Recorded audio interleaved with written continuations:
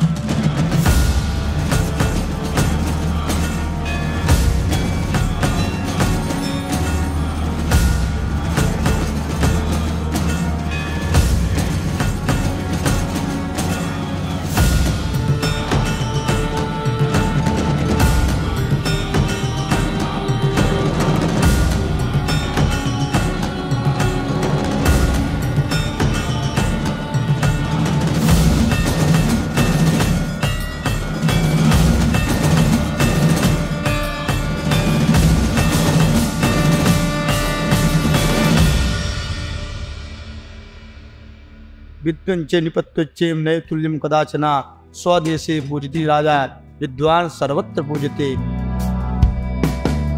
राजा